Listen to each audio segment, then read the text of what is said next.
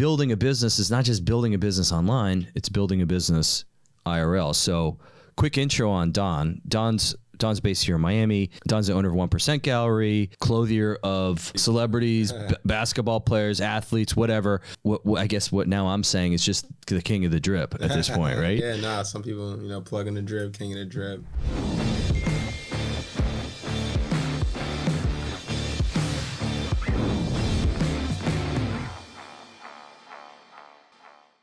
Where do you start? Um, as far as like what you wear, I mean, it's just an expression of yourself. So if you're a guy that's like, yo, I'm a New York type of guy, you might wear your classic streetwear, you know, garments, a hoodie, maybe like a little jacket, kind of like a bomber jacket, like what I came in with.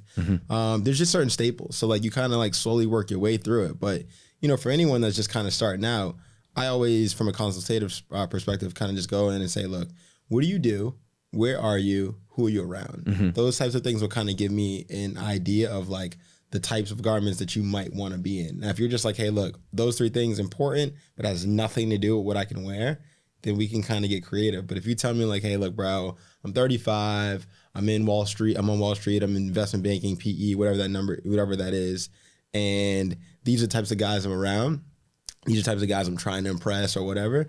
We can put you in like something like maybe what you're wearing. If not, maybe some John Elliott jeans, some uh, you know, like I don't know, some Dior sneakers, low cut, not too much. Like you can slowly sort of bring in certain brands that'll kind of be more social, but at the same time, like not complete streetwear. Uh, what's cool here is like you're you're talking about it like it's a reflection of you, and maybe it's a reflection of who you who you want to be hanging out with. Yeah, exactly. So it's kind of like it's it's you're reflecting the future you now a little bit. Absolutely. You're in your little time machine saying, "All right, who do I want to hang out with? What do these what do these guys and, and gals wear or What do they- whatever?" What do they look like? What are they talking about? What are they wearing? Like Right. what's cool? So you kind of are you're catapulting yourself visually to where you want to be based on what you purchase, what you invest in as far as garments. And then when you're in those social settings, you're just it's just natural. People pick up on it like, yo, bro, I like your shoes, y'all like your shirt. Because those are the types of things that either one they're wearing, they like as well. And now you've be created you've created some social equity for yourself. it's fashion not in a materialistic sense, but in like a community sense. It's like sense. investing in. It's almost investing in relationships through. Yeah, you know. it's why it's funny. Like, so I have the, the, the this term. It's like you see it, and like you know, and and you know, a lot of guys like this. This type of conversation is rare. Like, you know, there's the design district in Miami. There's the garment district in LA. There's Soho in New York, and everyone's buying stuff for social equity, but mm-hmm. no one talks about it. Mm. It's like so. You know, why do you why do you wear what you wear, and like how does that relate to your surroundings? right. So that's that's why I think you know some of this what we're talking about is like super cool and important.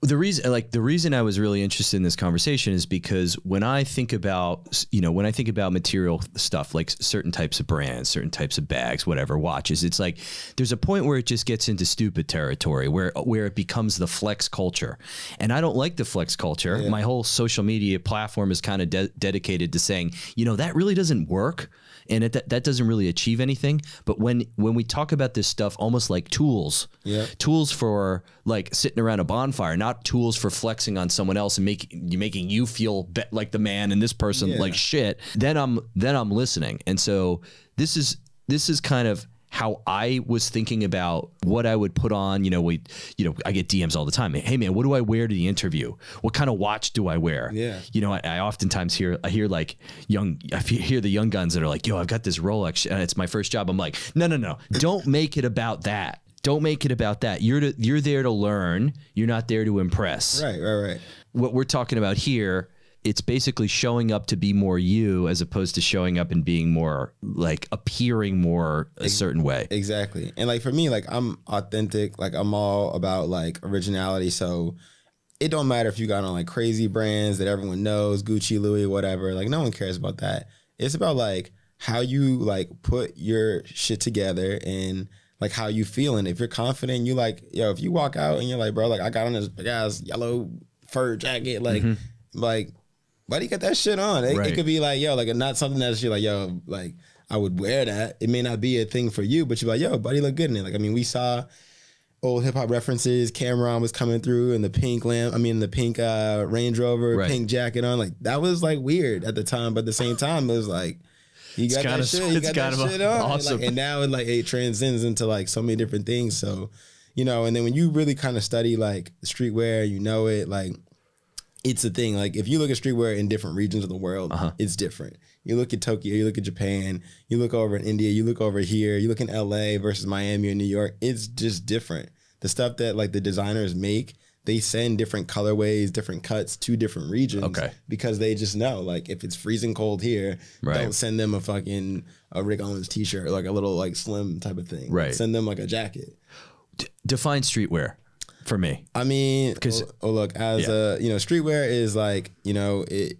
Most of us, I mean, some of us maybe not so much, but most of us grew up in cities where there's people, um, people. There's processes, there's trains, there's there's a lot of like, I guess, silver line signals that are happening in your exterior environment. So your garment should reflect that in a weird way. I don't I don't know how to like sometimes they put it together, but if you're somewhere where you gotta be a little more tactical, dude, wear some tactical drip. Like you mm. know, like me, I, I'm like me and my boy Hugo, we got this thing. We're like, we're all Japanese jujitsus. We're Jedi's. So mm-hmm. like the shit we wear is like, I wear like the sweater I had on was like uh, a, a Hivers season 7, 20, 2017 Vetements just sweater. It's just heavy, but it, like it, it has great cuts. It doesn't look like anything special. Mm-hmm. That shit's probably like twelve hundred dollars, you know, Right. some type shit. But like, I could have just got a black Hanes sweater. Right. But like when you see the cuts, like people notice like something's not the same about that as anything normal. Right. These uh Fear of God Japanese Jiu-Jitsu pants.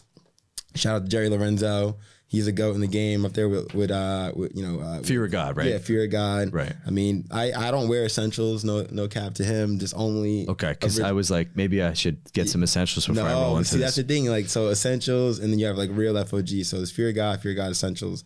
The essentials is kind of like that hybrid line for Right. to kind of like meet the max, meet the masses. The stuff that I wear is typically a little more exclusive and a, a little. That's why I like es- essentials. I'm like, all right, sweet. These prices look pretty good. I feel like I'm Yeah, getting a I mean, deal. like, so like you can get a pair of like essential sweats for like maybe like seventy bucks, a, a hoodie. See, like, yeah, I'm listening to this right. I'm like, yeah, know, that, feels good. and that's like normal. I mean, look, you know, like I was saying, like like spending ridiculous money on shit isn't like what I'm promoting. I'm like just feeling comfortable and knowing that you have stuff that you like. I'm big on like things that people don't typically have. Mm-hmm. Um, you know, it's also part of my job. My job is to like be almost a uh, you know a, a billboard for the guys that I want to work with, the Mm-hmm. guys that may want to work with me. So when they see me and they're like, "Yo, buddy, got that shit on," it's like encouraging them to want to work with me. Right. If I got the same shit on that everyone has on, right. there's no real reason for them to come work with me. So when you say billboard, you're you're a living example of what they could be What they could if be. they work with you. if they were like, "Yo, but I want super archival shit. I want one of one drip, vintage Right. pieces that no one has." Like, well, you I got it on. You got to holler at your boy. Right. So, you know, it's not a fake it till you make it thing. It's, hey, if this is the business you want to be in, you got to go all in. You got to embody it. You gotta I mean, live like it's like a, being a jeweler. If you like, if you if you want to see, if you want big jewelry, you go to the jewelry store. The guy, I mean, I'm not saying usually jewelry store guys don't have any jewelry on in a way, but, but the watch guys but, they, but are they'll have, they'll decked have, out. they'll have on a nice watch that you're like, holy shit, like Yeah. So my boy Nico uh, Vanderhorst, I think he's in Miami right now. I'm FaceTiming with him earlier. He's probably the number one watch influencer in the world. Uh, that guy always has something. Even when he's FaceTime me, he scratches his head. I'm like, what? What, dude? Yeah. What is that? like, that is yo, savage piece that you have on. So, and and you see like the guys in Trax NYC. He's got he's got the chains on because Yeah. he sells a lot of chain. It's like, dude, be become your Yeah, customer. become your customer, be your business, and you know, and I mean, like me, bro, I, I could flip drip to anybody. It doesn't matter. Like I could look you, make you look fly, however you want to look. I can make sure that you're curated. But at the end of the day, for me, it's about relationships. That's why I say, like you know, what I was saying before. A lot of it is more about like the intrinsic values that you can create from that because there's no price tag on relationships. When you mm-hmm. when you build really cool relationships, it's like now you go from I got him one shirt or I got him a whole outfit to bro, now I'm at his crib, I'm designing his crib, and now we chill all the time. We do all this all the time because you become a part of their entourage. Like my man JC, Jordan Clarkson, super cool dude. He plays for the Jazz. Like I love JC because he rolls with his entourage. Like Jay, I mean JC, he like he literally he's got Steve, the tattoo guy. So like he's the Steve does all the tattoos for everybody in the NBA. Okay. But like when he goes out in places, he goes to LIV, he goes to these places, he brings his crew Right. his barber's there. So like Everybody who's in his ecosystem is is, in his there. ecosystem. So like a lot of times, like even me last night, I'm out last night at eleven. I mean eleven with. I Really? yeah, with uh, Rick Ross and the gang. It was it was a movie, Rick bro. Ross was there. It was a fucking movie. So thanks, just a- thanks for the invite. Number Yeah, one. I know, I know. but I was in bed movie. by nine thirty, just in case my audience is curious I think what I, was doing. I think I was night. more like a six fifteen this morning. Jesus. But but it's like and you made the bell here. hey man, look, anything I gotta do, work is work is work. But but it was just cool because you're like, you know, you see these guys and you see their entourage, and look, I don't know everybody in the camp, but I know the people that are bringing the values, and the rest of them, you know, being a body sometimes is valued because it's a familiar face. But you know, when you're a part of you know uh, multiple teams where you're like, hey, look, I'm the guy that helps them get these garments. I'm not their stylist all the time. Their stylist might be present, but you know, you're a cool guy and you bring something to the table, like they want you around. So that's Yeah. the relationship I'm trying to build with. You these bring guys. value to the table, That's, you got to bring value to any table, man. or or you're not going to sit at the fucking table. Period. Period. Yeah, this is, this is the same thing. Like when we're talking about finding a mentor, you know, going to get a new job, whatever it is, whatever you want to do, you have to turn up with extra over the top 3x, 4x, 5x value. And by the way, all of a sudden that chair just just Yeah. pulls away and that's your seat. And you get to sit down for a little bit and hang out with everybody. I Show up with the value. I remember this one time. I'll tell you a quick story. I was in college. I went to school in Rhode Island, and I was like, I had a mentor in Boston, big commercial real estate guy. He calls me and he's like, "Bro, can you be in my office tomorrow at like 8 a.m.?" I'm like, "Well, 8 a.m. Like, dude, I have like a, I think I have like a 9:45, you know, econ class, Mm-hmm. but like we'll see." So like, I get up early as fuck. You know, I drive all the way down to Boston.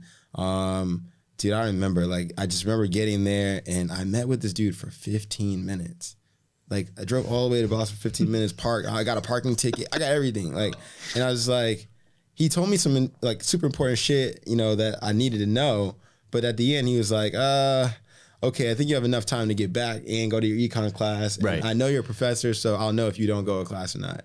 So I get back to class. I mean, I get back to campus. I'm like, fuck this. I'm not going to class. But then I went, I was like, you know what? Like, I can't have done all of that and then get back. Half-ass and- it. Half-ass it. And the guy told me. But then once I went to class and Mr. Palumbo told me, he was like, you know, God rest his soul. He was like, he was like, Kevin called me and told me you probably wouldn't come to Really? class today. I was like, well, I'm here. And Okay. I swear to God, that opened so many doors and it, Really? just, taught, it just taught me like, sometimes you got to go the distance, bro. Like, and all in. all in, you got to be all in, even when you're not ready, but you just got to do it. because you what's funny is everyone thinks nobody's looking and most of the most of the time they're not but when they are and are. you f- and you fuck that up Oh, yeah. You're out. You're out. you're out You're out. I, I could have easily not gone to that class, and Kevin would have called me and like, "So you didn't go to class?" And two, Right. my, my professor would have known I didn't go to class, even though he knew I went to the meeting, and I didn't know he went to the meeting. Right. But it's just like those things are like, I believe, like for young people, entrepreneurs, business people, it's like if you're not willing to go the distance and like really cultivate those relationships or whatever it takes to get to the next level. Then you're just gonna be stuck in like this complacent sort of spot and not Yeah. wondering like why you didn't get that. the holding pattern where, holding where pattern. most people live in the zoo, circling around hoping something happens people place get, people get comfortable, man. yeah it's ugly it's it's a it's a disease we don't we don't do holding patterns And like for, and like for me, for example, like so when I was in school, a lot of my friends were playing ball. Um, you know, they were at Q's, UConn, all these like top schools when Big East was fire. Mm-hmm. And so a lot of them transitioned naturally into the NBA. And you know, for me, I was never like, you know, some people see these guys and then they're like, oh my God, like, you know, LeBron James, like, all right, yeah, LeBron is LeBron, but like he's a hooper. He still Right. puts his shoes on the same way. He's probably, I mean, no, just LeBron because we love LeBron, but Right. like he's not the most swaggiest in the league. Right. But like, so when you start to see certain things, like, all right, you respect them for just who they are, and I'm so comfortable being around these guys that it's not like shell shocking. But you know, so that that has to be part of the business. So when I'm going out and I'm seeing these guys in person, uh, me and them, I just let them know what's up with me, bro. I'm done. Plug on the drip, whatever is easy for you to Right. digest. And if you want, I see you got that shit on a little bit, Right. Like, you know, I can help you. What you mean? Boom, take my math and we'll go from there. Right. And it's just how it happens. okay so let's talk about let's talk about this as a business okay. right because For sure. uh, like I don't like w- when I pop on social media, I talk about this stuff. I talk about the business that I know. Yeah. Right. So what that ends up doing, and unfortunately, this is social media in general. Mm-hmm. All you hear is commercial real estate, trading. You hear fucking crypto. You hear all this like s- all this yeah, all this stupid. Half of it is completely stupid shit that nobody should be doing, Mm-hmm. right? Except a very select few, and even they their returns suck compared to the S and P 500. But it's like that's not all there is out there. To make money, No, to bro. have a fulfilling life. So, t- like, tell me, how did you like? I- I'm hearing you go from this econ class. Like, how the hell did you even get started doing this thing that is now Bro, your thing? It's so crazy. So, in the shortest of it all, like I finished uh, Providence College in Rhode Island. you went to Providence College. I went to PC. I had a buddy who went to P- PC. Go Friars. It's, it's- yeah, go Friars forever, man. There's a, there's a lot of fire girls there, but like, uh, but no. So so for I mean, look, I met a shorty there. It was I fell out of uh, I fell out of a bunk bed, uh, and it was really high, and I hit the floor. And you know, at PC, the floor is just cement. the floor is cement. I hit the cement, Yeah. and I'm still here. hey, look. You know why? It's a it's a Catholic school. A good- Jesus was watching Yeah, over me, and I was there. Yeah, was you were there. I was there for Yeah, you. thanks for taking care of me, bro. anytime, brother. But but no, more more importantly, it's just like you know when you're there, like you know, I, I saw this like opportunity. So I uh, studied economics and art. I started our business, One Percent Gallery, and originally most people don't know this, but I had started this selling art because like I was in a lot of art classes. I was like dating this girl, um, you know, and and you know she told me that she was kind of into art, and then there was other girl that I knew that she was a painter, and like I was like, yo, like you know, I want to try to figure out like how to help you. I- Right. I, already had connections to go do what I needed to do next, but it was just something that I was like, well, let me figure out how to like help you. Okay. So she had told me she was like, "Yo, God sent me here to paint." I was like, "Holy shit!" Like God either sent you here to be broke as fuck, or Right. like, or like you're really gonna be something. Right. So I went in my room that day. I like Googled like how to start a business, LLC. Uh, uh paid the five hundred bucks. Got a website. Right. Hundred twenty five bucks. Domain thirty bucks. Like I Just putting the pieces together. put the pieces together. I signed her as the first artist. Got a con, you know regular Rocket whatever you know, right. contract. Rocket lawyer. Rocket whatever. lawyer contracts and got a contract. That would be a great sponsor. Write that down. and just got her. I got her to just you know she was like, "Yo, I believe in you and I believe what you're doing," and it was a crazy. It was crazy. So my goal was to sell art in the beginning. I was just trying to like Paintings, drawings, paintings, photography, like design, just anything where Visual there was, there was yeah. like emerging artists and creatives. So I had, you know, she gifted me this piece as I was graduating. Right. And shit was fucking dope. And I just, you know, when I was moving back to my parents' crib, I had nowhere to put it. Right. My mom was like, "Where you putting that thing?" So I had gifted it to my boy's dad that had got me a job. I was working for a company, Boston Properties, uh, big real estate, Yeah. you know, REIT out across the world. So I was like, uh, it was like, you know, Brian, like take this thing. Thank you for a job. Love is love. And he's like, wow, this is super dope. So he like puts one up in his office. One of his buddies comes in. The art is dope. Where'd you get it? He tells me, like, he tells him, like, Don did it. I was like, Right. I didn't do it. The girl did it, but like, I, I business. get you, I can get you one the one if you want one. he was like, I want it. Struck me a check for like forty five hundred bucks. I gave the girl like twenty five. Took two, put in the business, and just That's the first paycheck in first, the business. first paycheck. yeah. And That's called product market fit for all the marketing and business nerds out there. When you don't even know why and someone's handing you money, that's when you hit gold, basically. But what was crazy was like I was still like so you know all through high school, all through college, I was very big on like how I wear, like what I wear, how I feel, like that type of shit. Like art was kind of coming secondary, but it was still just like, well, I mean, I got to put it all together. So I had these guys going up to the NBA, and I was like, bro, you guys got to buy some art for your cribs.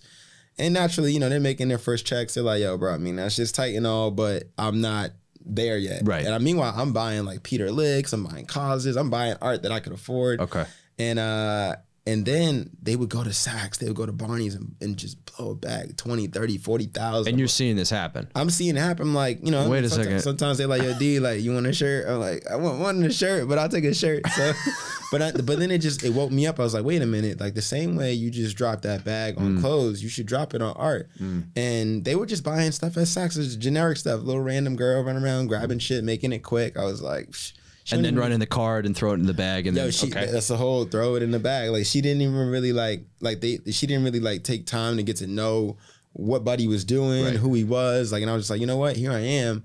I know you better than these people. I know your sizes. I know what you want to get. Right. Don't do this shit anymore. Let me help you do it. Okay. And immediately they're like, well, if you think you can do a better job, D. So now I'm online. I'm on all these super cool websites and crazy shit. Right. I'm finding them stuff from overseas that they can't know. You're offering a deeper level of service that the person in Saks could never pull off. because they can only pull from what their inventory is. Right. And I'm like, well, And they probably don't give a shit anyway. I mean, there's and it's different. Like so now you just have for department stores you have Saks. You know what I mean with the Webster with the you know uh you know addition of like the Webster and things like that. not to are- pick on Saks. No Yeah. no no no no. Like, I mean I, I got plenty of shit from Saks, but Right. like it's just like they at the time you had Barney's, Saks, Nordstrom's, Bloomingdale. You had like Mm. multiples. Now you just kind of have Saks because they bought Barney's and they bought some of those other ones. So now you kind of have this one conglomerate. But before you had different ones. So like the girl in Saks could only show you what was at mm. Saks. I'm showing these guys what's in all these stores and online. And at that time, people didn't trust online as much. Right. I was one of the first adapters but yo, look, this store looks fucking legit. I'll order something and, and I'll read the return policies and I'll make sure that if it's not right, I'm sending it back. Right. If it is right, amazing. Right. And you take the risk. And I take the risk. So that was how I kind of started doing that. And I was just like, yo, guys, don't don't do this on your own. I'll help you out. And before you knew it, you had, you know, three, four guys trusting you and you're in the game. And then you're in business. you're in the business you're in the business now. And so now that you've built, so so number, I- just love all these stories because like nothing is planned out from the beginning. No, man. So you start in art, which which is like I like to call it just iterating your way to success. Is like oh, art's kind of like clothes, like art's kind of like fashion. It's like the next door neighbor, right? Mm-hmm. And then you jump over because you say, well, I see the bigger market opportunity over here, basically. Yeah, and I was still a little blinded too, because like you know I had other opportunities. I was working at this place, Liquid Art House, and I was curating art for a lot of like high end people. Um, you know, shout out to Ruta Laukien. She had this amazing restaurant. Like all the chefs, they were like they were like artists. The, the art, the food was art, and she was like, Don, I'm gonna help you. I need your help to like curate art in the space. We'll source stuff from all around the world. Every other month, we'll have artists coming in. So I was doing that. I was making a couple sales there, you know, 15, 20, 30,000 here and there. I was like, well, I mean, like, make That's money. pretty good. I was like, I'm making money, but I had soon to learn that the splits were like, okay, well, that number is 20, but you know, 15 of it is going to the artist and Mm-hmm. then five goes to the house and then my check might be like 1500 or like Yeah. two stacks. I'm like, well, it's still good money when you're a young guy, but you know, I want the the bigger check. So Yeah. that's the artist check. And that's when I just started realizing like I had to have better relationships that kind of cut the middle people out. And also I needed to be a maker of things. So that's kind of what helped me get into designing my own brand as well as buying other brands. Okay. How would it? How does social media factor into all this thing? You know, Or, do- bro, or does it not? you know, compared to the other? it's it's so you know that's it's an amazing question because for so many it's so powerful it can help you scale 10x for sure i just ran into some really tough challenges early on like i remember a time when like my link my like my domain would not even connect to my fucking instagram. This was years. I used to call no number i'm fighting i'm crying i'm like yo like everyone's making money around me. I can't even connect my domain okay. for my brand Right. to my Instagram, and I'm like, fuck it, I can't get stuck up on, I can't get stuck on like on, on, on things that just are out of my control right Mm. now. So you just go around it. You like I removed not having all the money to seed my business and all. Forget about it. I, I forgot. I, I got rid of the whole social media. I just started literally, you know, fucking pounding sand, like pounding concrete and Right. pounding sand. I was like, you know, if I want to get in front of Pounding the pavement. I think. yeah, Yeah, yeah. I pounding mean, the pavement. sand, pavement, whatever. I be on the beach, so we Pounding the be, pavement. we be, I be on everything, but like you know, you know me, man. I'm We're in Miami. That's where the pounding sand. Uh, yeah. kick rocks, all that shit. Whatever. you're kicking something. But you know, I just, I just saw, I was like, you know what?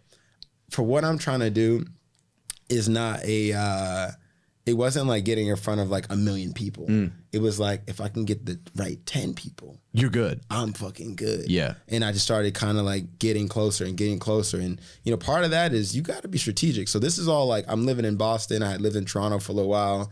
Like, I'm like, okay, when I was up in Toronto, I got super cool with a lot of XO guys, like the Weeknd, Nav, Roy Woods. These, I'm running around the town, I'm seeing them. And Toronto's got a streetwear scene. Yeah, they do, but they really like they really fucked up my streetwear because they're like, bro, you like you from the states, like so. In in Canada is this thing where it's like you know you're either from Canada or you're from the United States. You could be from the shittiest town in the United States, but you're still from the states. So girls will mess with you, Right. but like you know you get this balance. You're like, especially if you're from New York, you're like, oh my god, you're from New York. Yeah. I wasn't from New York. I was from Boston. We're so- gonna film in uh, Toronto next. It sounds yeah, like. I mean, the six side is fire. But like, I was from Boston, so I would go. I'm at Pick Six. I'm at Frings. I'm at all these like Drake's restaurants, the places Mm-hmm. that we would all go. The fucking staff used to be like, "Yo, how's the business?" They used to thought I was OVO, and I'm like, I'm not even OVO, bro. Like, I've been kind of like tapped in with the XO guys, which is mad love and respect. But I'm just me. I'm just kind of coming through with some drip and some cool ideas, and you know that just kind of translated. But I started seeing. I'm like, you know, every Sunday there's this thing called LIV, and everyone's there. Mm. And I'm just looking at my Instagram and this little fucking four by four. I'm like, yo, like the life is right there. Mm. Down here in Miami. Yes, yeah. I mean, for everyone is like, what's LIV? LIV's a big nightclub here, probably the most legendary nightclub. I think it's the highest grossing nightclub. Yeah, I mean, you know, shout out to the guys that's running David Grutman and and uh and you know, uh Yeah. was it Michael Gardner who runs the the Sundays par- portion of it, and that's what got big. It was like it was a LIV on Sunday, King of Diamonds Monday, you know, Mm-hmm. uh, verbatim Lil Wayne. So these guys, they were like putting in their work, and then like the music guys were then you know sending that And it all is a flywheel It's- effect. It's a flywheel effect. So I'm in Toronto. I'm like, like, oh, the world is here. The girls are there. So I came to visit my cousin, and this is all post COVID shit. So you know the deals down here were amazing. And I Mm. was like, five hundred bucks down. I got an apartment, two months free. Like yeah, Miami used to be cheap. Miami used to be litty. Now it's like Now I'm it's getting toasted. Second most expensive city. Getting toasted down here. day by day, I'm just like, yo, is my rent going up? What's going yeah, what's Like, happening? But Yeah. at the time, it was amazing. So then I just I came down here. I got my spot, and I just I had a buddy that lived next door to LIV, and we were just going there every night. I was going there every night, and I was meeting Wow. And that was just part of the social networking. It's like I got to Right. meet the guy at the door. The guy at the door is the most important guy, Right. Because he's gonna let me in the door. So Start there. you start with your face card. I mean, so there's this thing like social equity. is like your face, your face card. Like sometimes you might see somebody they don't know who you are, but they seen you. They're like, "Yo, I seen Buddy before. He came through. He's fly. He had a couple girls, whatever. Like he's good. Right. No money involved. It's just like he's good because they're seeing you and you're part of the social light um, experience. So they want people like you in there, no matter what. Okay, so let's break. Is that, is that who you're associated with? It's like who you're associated with, how you carry yourself. I mean, If you act like a fucking asshole, you're probably Yeah, not I getting mean, in. It's a balance. I mean, because there's been so many times where like I would go to meet people and I just kind of be there early or be there late and I'm by myself. But I carry myself a certain way. Like I don't bend or fold at the door. You're not gonna charge me all this ridiculous shit. I live next. I live down the street. Mm-hmm. Like if I gotta pay, I gotta pay. If I come with a girl, I look out for the girl. But if I come with multiple girls, you letting us in because I'm like I'm bringing shit to the table. Right. I don't gotta leave with these girls. You could take them if you want to move them around. I don't care. But Right. like you know, like there's that. There's that. What I'm bringing to the space. So sometimes if you're just like a real gentleman, you're like, yo, like I understand there's a process, there's a line, but just you know, it's me and these two girls. Like, what can we do? They're like, yo, don't even worry about it, buddy. You good? You know what they'll do? They'll check your drip. Mm. And they're like, okay, buddy got that shit on. Okay. And they'll let you in. Right, I right. can't, if you got on some regular shit, I don't know what the experience is like. I always kind of get a nice little, like, yo, he got that shit on. Like, man, he got to be somebody. He's Right, good. right. So like at the end of the at the end of the day, this stuff like this stuff. If you don't let it go to your head, it can it can be a powerful tool to get you in the door Oh, to for get you. sure, absolutely. It's it's a tool. It's like you got to look at it for what it truly is. I mean, like you invest in X, X will then drive you this, Mm-hmm. and you know, I look. You could be saying, I've, there's been so many times I'm like at, at a at a spot or a club, and maybe the guy at the door, you know, typically doorman, they're not the most knowledgeable of what is fly, but they can just still sense it. Like, all right, well, like he wouldn't just cut this line, Right. If he didn't, and then the the, the, the visual helps, and then they're like, okay, like They're putting the pieces together. they're putting they, they got to add it up a little bit too. Now, if you get a cool doorman, like someone that just really knows, or like, Right. you know, I work with a couple guys. You know, I, I try to like, I try to insert myself with them, Right. and be like, yo, look, bro, like if you want that shit, I'll get it for you. We can go take a walk. So now you start to build that relationship with them, and now they start to learn, and then they start to kind of be able to decipher shit too. right. But when I would go, I'd just be like, yo, bro, like it's just me, it's just the girls, whatever, and they're like, all right, like he coming respectful. He's he's a gentleman, like he got that shit on. Let him in. Right. Let him in. Let him in. Let him in. Let him in. It- What's interesting here is also like uh, people go like, "Hey Nick, how do you how do you balance work and play?" It's like, dude, you're not balancing work and play. You're doing the same thing at the same time at all all 7 days a week. bro it's so crazy i was so i was just telling you a story about you know me being at LIV like i mean some of the best places for me to do business is is booby trap LIV these places because that's where like everyone's there and like their ego is in a flex so me i have no ego because i Hmm. Already know i kind of killed you with the drip like, I, like, it's like it's just like I don't, we don't even You're I- already dead. i don't have like let's be clear i don't have the most bread amongst all the people i be Right. with Right. I don't have the most celebrity or star. I just be the dude in the cut that like the girls Is know in- and respect. invincible. It's like yo, like so the girls know to make that little left turn to come show love and pay homage and respect, and then they'll go back to business. They Right. go back to business, but like they know, so it's it's cool. But like I'll be there with my friends and the guys that we're out with, and they're like, yo, I like them bands. I need Right. them shits. I'd be like, well, before you throw two bands on her, Send me two bands right now. I'll get you the pants. Set it want. aside. Set it aside or whatever. And sometimes they'd be like, yo, bro, here, take the money, do what you want with it now, Uh-huh. throw it in the air, whatever you want. I'm like, nah, like I'm gonna take your money, I'm gonna do the right thing, get you your shit first. Right. Then we'll come out and celebrate again. But it's also kind of that moment where you're like, you know, they're wearing like their best, their Sunday's best, whatever, but Right. whatever we are. And and they'll check what you got. You know what? You see it. That's the homies. Like you see it, and then they just kind of want what they want. I'm like, bro, if you need anything, like I got you. Right. And then we have a good time. Then they hit me tomorrow, like, yo, D, I need that shit for tonight because we going out tonight. So Okay. then I start working. Yeah. So that's the best office. You know, the best office is when you got when everyone's got their shit on. You know. Well, I mean, it's it's genius. Obviously, it's genius because you get to hang. Out. Your office kind of is a lot more fun than my office. Let me tell you. I know this is a dope spot though. I like. No. this. I like this office. my off, yeah, my office. Like the Ace of Spades never comes out of my office. You know what I mean? Uh, like there's See, a little coffee. There's like an espresso. That's what comes I out of my. changed the nature of the game. I should have, you know, really drink chance. this Yeah. Shout out to Nori and those boys. Here's the thing: it's like it, build build your business in your vision. It doesn't need to involve a desk. Yeah. Well, I, you know, it's funny. Like, I think for me and and all of this, you know, it was like there was no path for like how you become a plug on a drip. There was no path. Right. There's on, not a YouTube video. You go how to. I mean, maybe now- sell high end fashion to celebrities and athletes. Was there a video that you watched on that? I'm No, guessing- bro. Like I just, you know what it was? I was in school and I learned. All my friends was going to accounting firms, Deloitte, PwC, la la la. They were Right. all going to the, the to do the shit, and I was going to commercial real estate as I worked for BP. And I was a suit and tie guy. I was clean though. I was real clean. Yeah. Was it was cold, and I was like, "Yo, man, this is just not me. Like Right. I'm like a whole nother person underneath this." And I had already started my business. I was doing things, but I just saw this like this need for, you know, like to be authentic and be original of like who you are. Uh-huh. So part of that was like I was like, well, there's no, there's no, you know, there's no blueprint for this. I'm gonna make a blueprint. You gotta And- blaze and, your own and I, path. and I blazed my own path. And now it's crazy. You know, I had got invited from Parsons School of Design to come do this like host thing with streetwear and talk to the, you know, uh, you know, all the Heron Preston and and Rhuigi and all these Right. guys. And you know, those are guys that run Rhude and and uh and HP. But you know, I'm just like, you know, you start getting those opportunities because you were authentically yourself. Right. If I had continued to go make corporate money and do other things, there's no telling if those opportunities would have presented themselves. They never would have I because you, they would have just gone right by you. They would have been like buddies, like uh, I don't know, like a junior account manager. you know, hey, Well, you're also you're also on the hardest drug known to man, the the, the paycheck, the salary. yeah, That's the hardest drug to get off. for sure. And and then a huge part of that, you know, for the business is like, okay, so you find what you love doing, you kind of around the people that you want to be around, but like, how do you make this make sense? And you know, luckily, I think that was the econ in me that just understood. There's like, yo, supply and demand. Yo, there's only so many. You know, we think about like the Jordans and the Yeezys. Like shit is like limited Right. in your city. I mean, it's lim- it's not limited across the world, but it's limited in your city. So you gotta have one relationship with the guy that can help you get it. Mm-hmm. You gotta like you gotta have some kind of leverage to help you get what you want. So I just saw that I was like, you know what, like this is gonna be where I'm gonna start to kind of like figure it out. And once I started realizing like who my client base was, I was like, well, look, when I go to dinners, they spend thousands. When we go to buy drinks, they spend thousands. When we do anything, we spend thousands. So thousands are the hundreds for these guys. Right. You go to Dior right now. You can go any Dior, Gucci, any store to buy a t-shirt is like a thousand bucks. right. I mean, my t-shirts they're more fire. They're one of one, Mm-hmm. and they're three sixty each. You just got to know me. The hard part is if you don't know me, you're not gonna get one Right.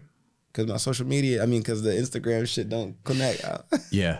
So, which is like totally to me that's like the ultimate paradigm flip when you're when you're in the streetwear b- business and you're in this this networking business and you're like, dude, I don't social media isn't really even a channel for me. It's really not. Like I think for me, like what I use social media for is like it's a great way to kind of like, oh, like I meet you know, like we I meet you, we can connect, and at Yeah. least where I can kind of Like a phone book Yeah, with like a- with photos attached it's to a it. it's a phone book, and you know I'm still more old school. I'm like you know I, I break the world up like it's like you live in the real world, the Matrix, and the metaverse. So I gotta ask people when I meet like when I meet girls, don't and guys know. about like yo like Which planet where do you live? where do you exist? Like how how do you communicate and where do you exist? Because Meaning where uh, right? Where do you where do where is your brain I'm in a st- computer I'm, and a phone? I'm a street guy. I wear streetwear. I want to call you. Like I'm like, bro, I'm outside. I don't want to like DM you and you're like doing something else because that's not typically how people are communicating. Right. But you have a, a huge portion of our generations that are communicating that way. Yeah. They they're afraid to get on the phone and talk. They don't like confrontation. Correct. So it's different, you know. So I gotta be like, yo, like, you know, how old are you? Where you at? And Right. Obviously, if you in TikTok and all that shit, you're in the metaverse. Like you're in Right. another world. Like Right.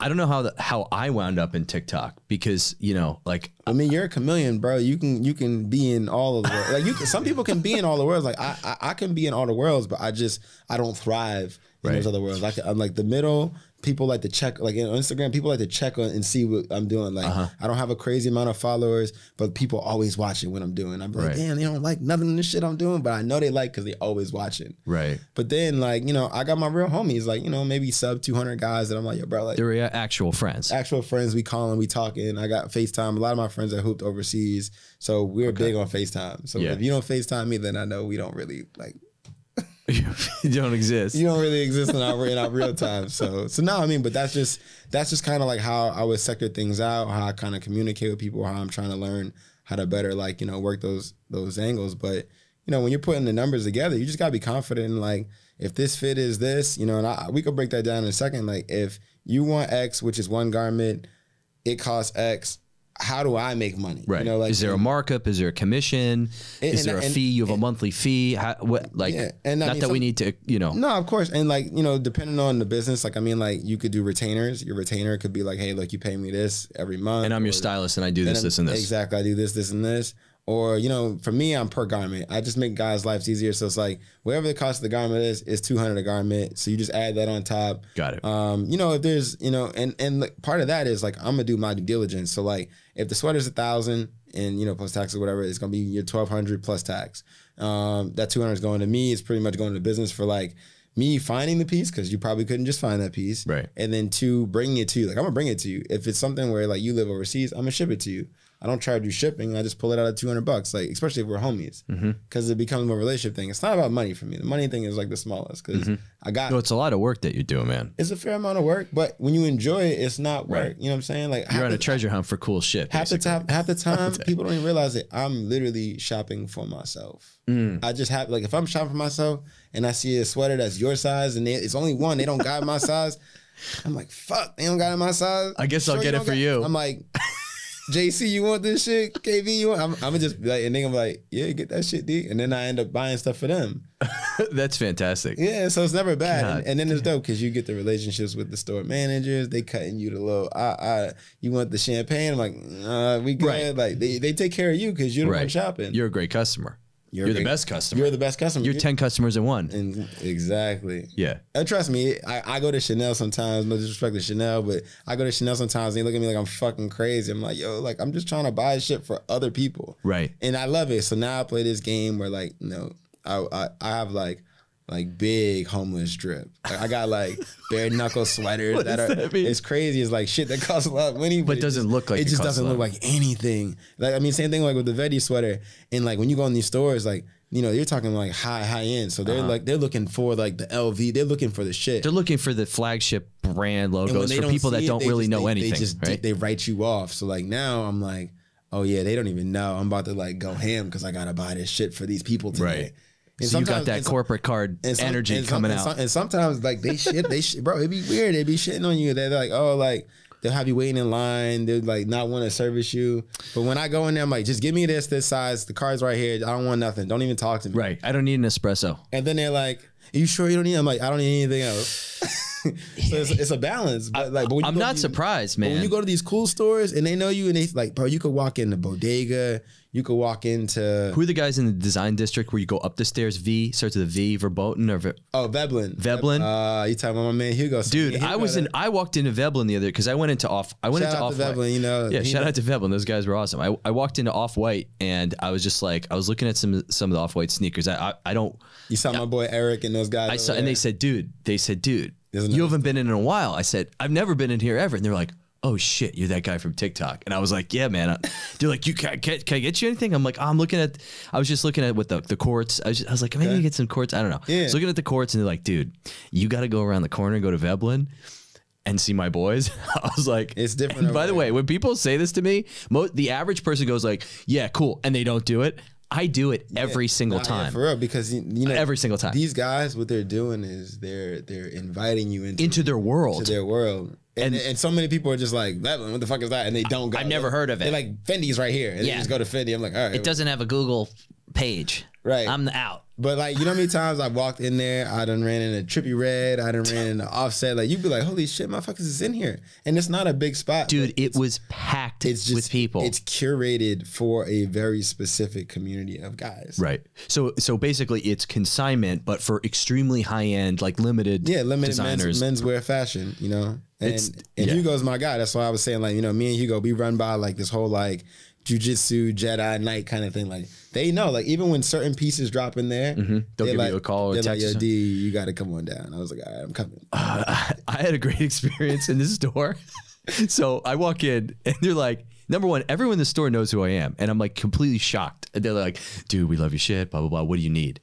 I go, this is terrible. I was like, you ever see that guy on social media called Zeus?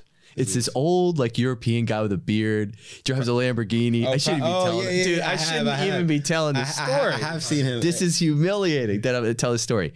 I go, he wears this, he wears this Balmain sweater, or Balmain sweater. And uh, do you have that? And the guy's like, well, I might have that. I was like, it's like a wide neck. I was like, I want to look like that guy Zeus, man. A's don't really take well, man. Yeah, it- You know what I'm talking about? He like there, he doesn't do anything but get into or get out of a Lamborghini. Yeah. And you're just like, I don't know why. I know you're the coolest guy on planet Earth. for sure. So for me, you know, I'm f- dude, I'm on, you know, social I just I wish I wasn't on it so much, but I'm on my phone, I see this guy Zeus who's uh, in the event crushing it. he's crushing it. He doesn't even say anything. I'm like I'm working way too hard. Like For sure. I have to talk. This Yeah. guy just gets out of a car He just gets out of the car and panties drop. and he just it's insane. And he's in Monaco for some. I'm like, what happens when the camera shuts off? Like, do you have a high pitched voice? I'm hoping like you've got it. Something has to break. Yeah. Because the guy seems like the coolest guy, Yeah, you never know, but that's that's and I was just gonna knock his look off. Yo, bro, that's that's that's the power of social media. Like you get these like 30 second clips to be your best. And like there's no talent. It's like I remember like there, I remember they used to show like the extras of like uh, you know, when Shaq and all the guys would be doing all their stuff. Right. Like they would they Shaq would come out and go shoot a basketball. This dude having flip flops. I'm like, nigga got no suit with flip flops. but you didn't but you don't But you don't. It's out of frame. it's out of frame. That's and, why I'm wearing pants today, by the way. and, and you know, like you know, TikTok, you don't need pants. and look, I mean, I don't know if the viewers can see the, the drip, but like, you know, like I come complete all the time. Right. I got on some Miharas right now, Betty socks, dope shit. Like, it's just different. And, you know, that's one of the things that like Hugo at Veblen and, and, and Justin Reed in New York and these guys, they're curating like, like they know based on the garments they bring in these spaces. They knew every single piece in the whole store. Well, they know every store. Yeah, they, I mean, he knows every piece in the store and every, and every price. But more importantly, like they know which pieces to bring in the store to bring in certain types of people. I see. Okay, you can control the market by what's sitting on the shelf. for sure.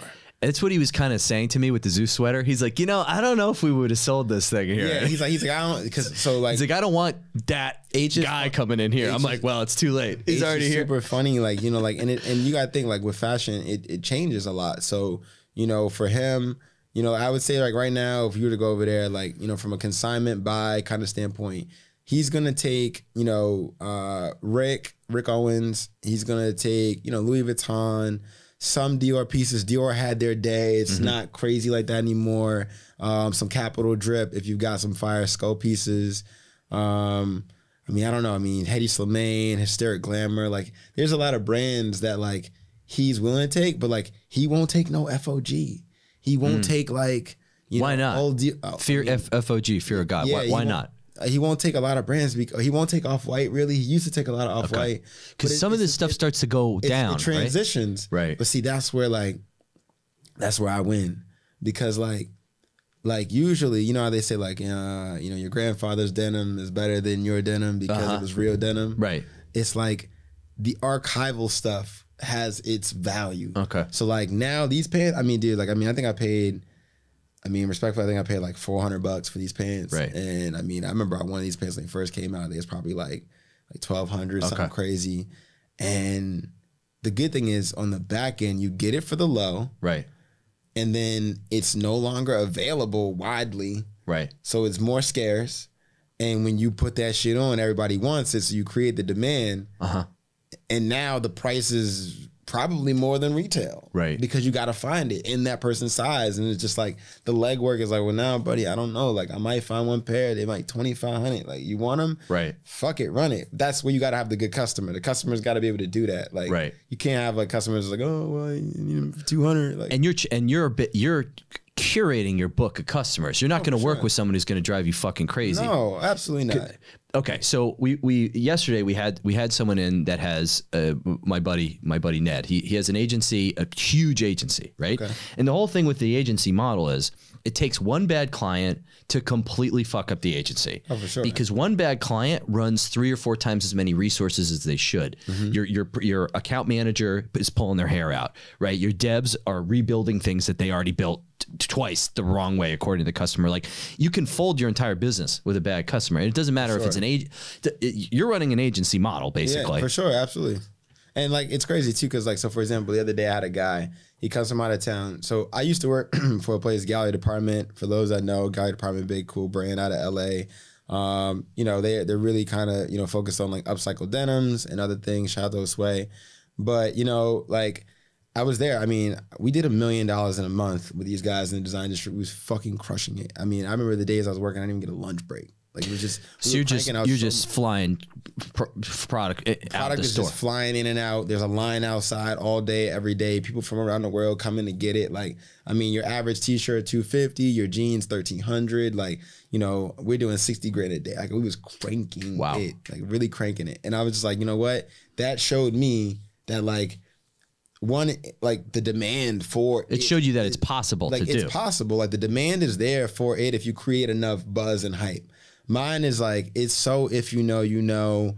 I don't even really want to like like like you know provide for the masses. It's truly like yo, if there's a good relationship at hand and you can drop the 360 in a T. It's not the craziest thing. Like I was talking to my boy Jadon Sancho, you know, plays for Manchester United just earlier. Like, but he can drop it. Like he come four thousand on a T-shirt. He could do that. But he's also like, OD, you know, like I fuck with you, so I'll buy like four thousand dollars worth of your shit. And I'm Right. like, okay, that's cool. Like that's love. Right. So you know, you you you you balance it all out. But man, when I was working there, I just I just saw it. I was like, man, like this is the machine. Like, and as long as you're able to kind of like will the machine, Hmm. you learn how to put it all in, in, in motion. You know. it's like a it's one part psychological, one part retail, one part sure, like, I- physical fucking moving cloth. Bro, I used to. It, there used to be this other spot in the design. Yeah, of course. There used to be this other spot in the design district. Um, it was called the Arsenal. I don't know if any of you guys had ever went, but it was like we used to sell cool shit like submarines, helicopters, airplanes, concept cars. What do you mean, like actual submarines? Yeah, like like like two, three million dollar submarines. You're allowed to drive a submarine? No, I one. let's be clear. I don't submerge under shit. I don't go underwater. You're not a you're, you're a above water I'm kind of guy. above water. I float. I walk on water. You're an above shit. marine. Yeah, Like I, you know, You're a supermarine. Exactly. I don't go underneath. You know, I can swim. Don't get it fucked up. I can Right. swim. I'm not- I, yeah. know, I know for the viewers, I can swim. Right. But like, That was clear. Yeah. It's just that you don't submerge nah, I don't and not come out again. I don't. I don't. Nah. So, so for me, it's like I'm a land creature. I drip on land. You know, but right. You don't drip on the sea. You oh, don't drip, on land. Yeah, nah. But but it's just funny. So we used to sell all this crazy stuff in there, and we sold clothes. But you know, it really teaches you like how important the atmosphere of a space is because You've got a fucking submarine sitting next to a t-shirt. All of a sudden, that that five hundred dollar t-shirt looks pretty cheap, dude. I mean, this is just this is marketing This psychology this is one on one. marketing. So so Yeah. so when people so I was the SVP of sales there, and you know shout out to Patrice Mignon, the owner of the store, uh, French guy, super cool, but he had his own way, Mm. and there's nothing wrong with that. Um, but he just liked it a certain way, but that way didn't sell product fast enough. Okay. And you know, when you're in that business and you're in the design industry, you're up against everyone else. So the moment that that family comes out the garage, and they will go to our store first because we were right there by the garage. You got to get them first. Yeah. Once they make that loop to Louis and Gucci and Fendi, dude, chances are those families are like depleted for the day of like tapped what out. They're what they're spending. Yeah. So you got to get them first. So I would get them with the classic Biggie Smalls tracks, playing good music, Making it feel like a party inside, making it feel like yo, this is something that you might want to come check out. Mm. So now they come in. You know, I'm the ringleader. I do the little circus wheel, like, hey, how's it going? Mm-hmm. Welcome to Arsenal, and like people are like, what the fuck is this store? Right. I'm like, bro, we sell everything in here: submarines, helicopters, concept. I was like, we even got some fire. Look, and listen, I'd like, we even got some fire t-shirts over in the corner. You got to go check those out, Right. Because I knew that no one's walking out with a submarine. Like, no point in selling something that no one's going to leave in, but you can sell them something that someone will leave in And you're leaving with a little piece. and you're leaving with a piece. So now, like, and granted, even in the design district more specifically, 360 bucks is still cheap for a t-shirt in a neighborhood like that, Mm. but that's still money, especially if you're gonna buy one or two of them. So It's definitely still money. it's, and it's still money. the design district is the highest end shopping district in Miami. If in case you don't know what we're talking about when we're talking about the design district, Yeah. it's a shopping district in Miami that is now has become world class shopping. Absolutely, you know, shout out to Craig Robins and Dacra for putting out putting it all together. It's been a project for for them over the years, and I mean, some of the most beautiful things that they've been able to do has been amazing. They integrate art and fashion and people. It's and fucking amazing. Yeah, it's space and place, and and I think that's a really cool reason why you know I live in the district. I, I choose to live there, Right. So I can wake up and be at the pulse of what I need to mm. do. That's where I work. That's where I mm-hmm. live. That's why I told you like this was kind of close because we're kind of close. Proximity, proximity to work. So so I mean I Yeah. just I just saw that and I was like yo like you know this is this is where it's at. You know you got to be in motion if you wanna if you wanna be in touch. If so yeah. It, like what I what I'm writing about a lot like in my newsletter I'm, I'm, I'm working on this book it's like someone found out that elon musk is like living in a fucking like shack next to the rocket site. Okay. everyone's like it's a pr stunt it's this it's that if you own a business, you run a business, you know it's not a fucking PR stunt because if you don't want to sleep in a shack, you don't you're not going to sleep in a shack, right? shack. The reason he's sleeping in the shack is because the 2 hours it would take or 3 hours to get from Beverly Hills to the fucking launch site or wherever it is, right? That isn't worth it. And that doesn't allow him to have the fucking pulse on whatever it is that they're doing at the launch site. So it's like I hear people it's like, you know, hey, well, where should I get my place? It's more expensive in this in this city center to use the like that's what they say in Yeah. Europe, but right, but it's like if you're not in the thing, you might as well not even be in the game. Yeah, exactly. It's like it's like you know, and and there's trade offs. Like so, for example, like I know this may sound crazy, but like I feel like at this point in my life, I afford the luxury to not drive, so I don't drive. Mm-hmm. You know, whether that be I call uh, Uber Black, a chauffeur, or whatever, or like or my friends drive. My friends got they trade, they do crazy shit. They're in the league. They got crazy cars. Mm-hmm. So I get around. You know what I mean? And I can always get around on my Uber. So you know, for me, I'm like, all right. If that's going to be a trade off, I can spend more money in where I live, Right. in my place versus you know paying money to then travel to the places I would go to. Right. Yeah, I think everyone forgets how much it costs to own a car, to fill the car, to, charge the car, you know? to travel and to get around. And for me, it's all about time. It's time. I love I love pulling up to any of these major events during Art Basel, during during anything, and I get out at the front and I don't gotta worry about shit. I don't gotta Right. park this car, I don't gotta worry about this guy scratching my rims, none Yeah. of that. Like There's a whole there's a whole psychology around the car, right? Because number one, I'm fr- like I'm from New York. Nobody has a freaking car. Right. Period. Right. Right. So if you're crushing it, you're getting driven around. If I mean, if you're really crushing it, you're getting driven, driven around. But mostly, and, and for me, it's like you jumping in a freaking yellow taxi. Like there was a, a democratic way in New York City. You're jumping in a yellow taxi, whether you're a hedge fund manager or you're fucking work at a deli. everyone looks the same. Everyone looks the same. Oh, oh, and also you're riding the subway, whether you're the mayor of fucking New York or you're like a homeless person. Like Right. everyone's together. That was the beauty of New York. Now, here it's different. here it's a little different. you know? Yeah, boy, it's different. Don't.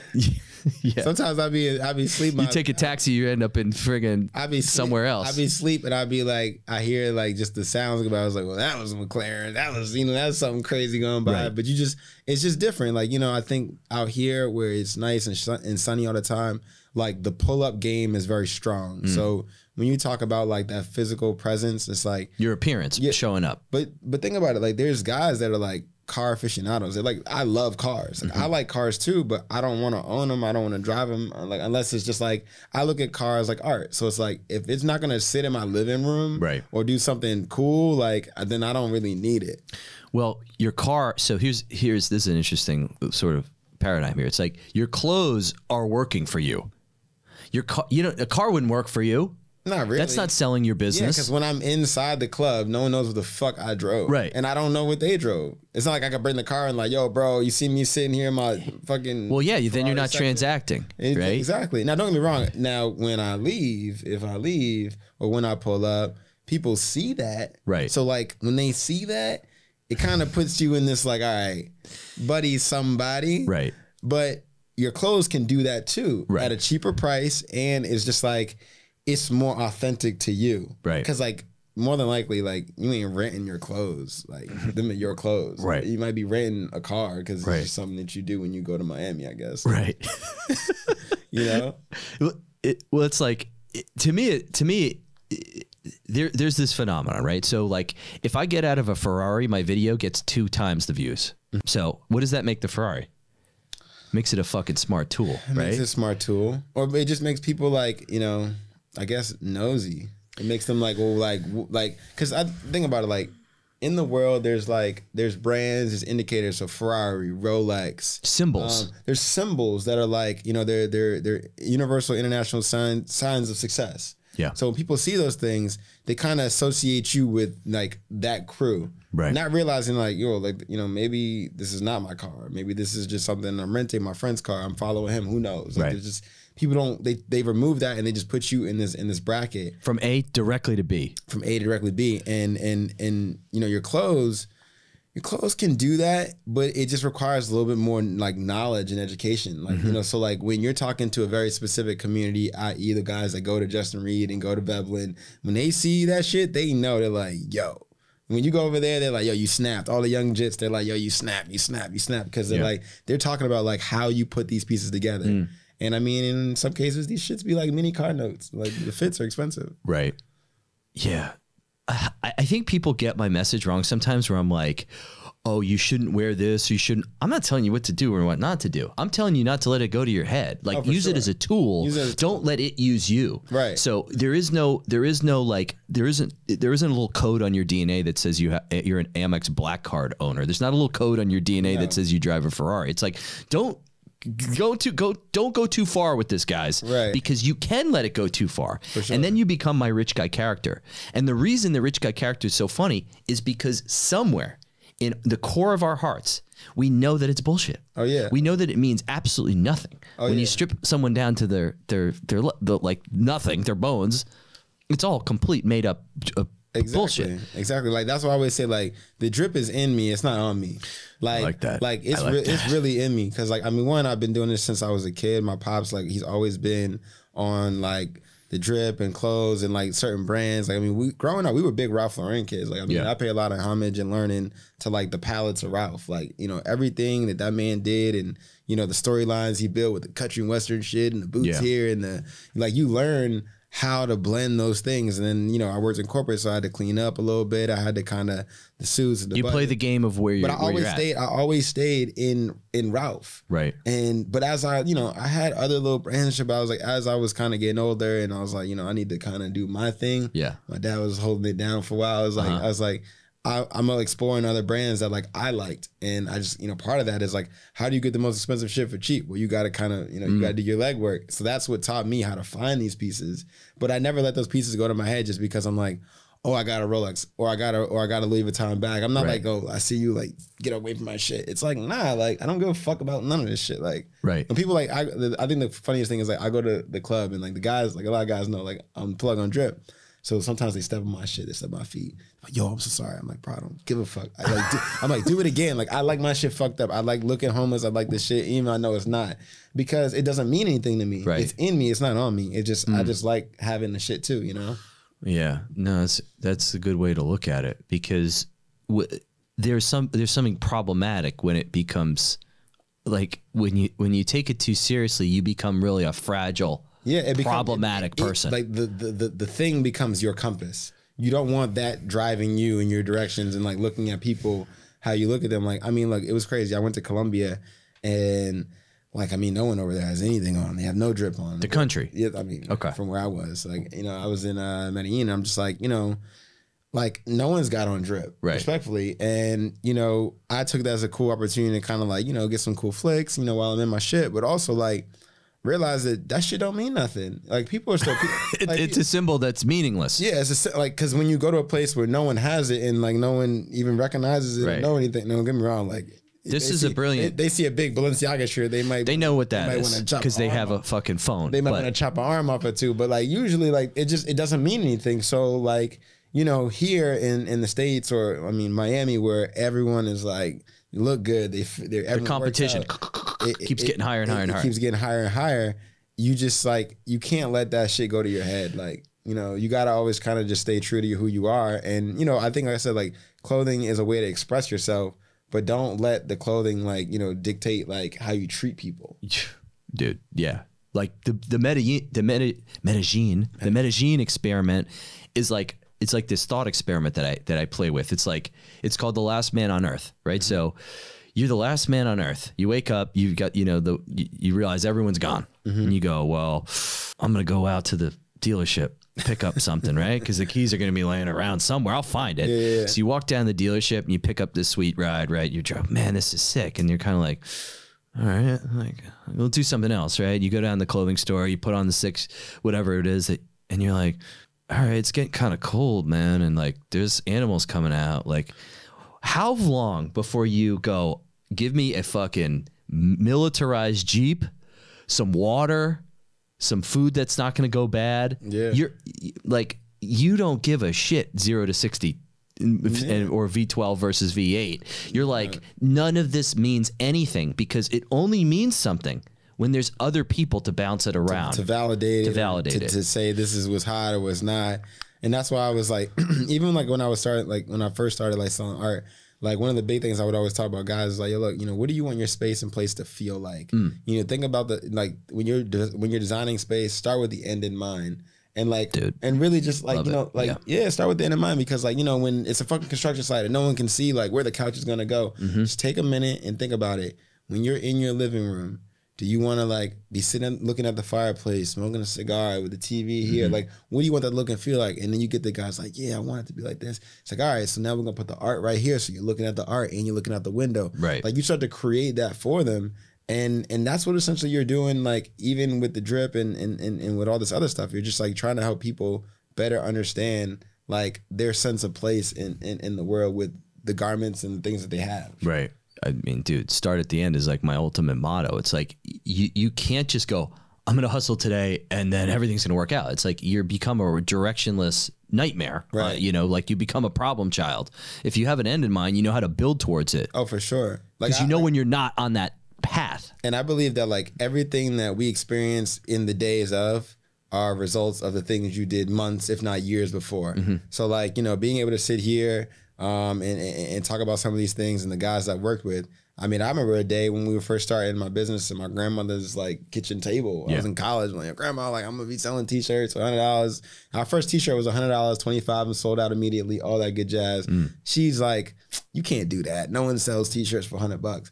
I'm like, grandma, sold out. Grandma, like 100 t-shirts, uh, hoodies, 11 of them, uh, you know, all numbered, boxed up, super dope, 250 a hoodie. She's like, you can't do that. I was like, grandma, like, watch this shit. Boom. They all sell out.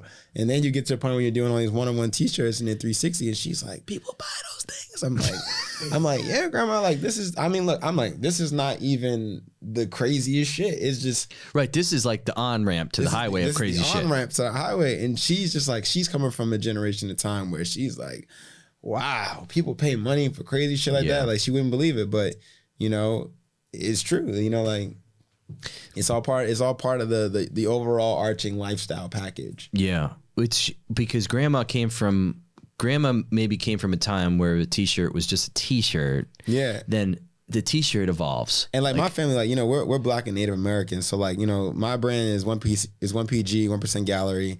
Um, the Native ties, all one of one authentic vintage T-shirts and Native American inspired. And you know, it was really kind of my twist to like kind of bring my culture and my people into um, you know, the streetwear kind of you know conversation because I, that just didn't exist at the time. It still really doesn't. So that's why I kind of push it hard. And um, and yeah, I mean, my grandmother, you know, she, you know, she's very, you know, native in her own, in her sense, and she just got her own little tradition. She's big on like outside space, you know, like respecting the land. Like Yeah. So like a lot of that type of stuff is like how I kind of like figured out how to put these blends together, like you know the camo, the Pantone colors, and making sure these vintage grays kind of really match up. So a lot of what I've learned from her personally is now instilled into the way that I dress. Hmm. But it's just like for her, it was never like spend 300, 400 bucks on clothes. She's like, Right. I could I could feed a whole village with that type of shit. Sure. yeah, and it's but it's like you know this is this is like who do you listen to? I'm, I'm it's like you don't listen.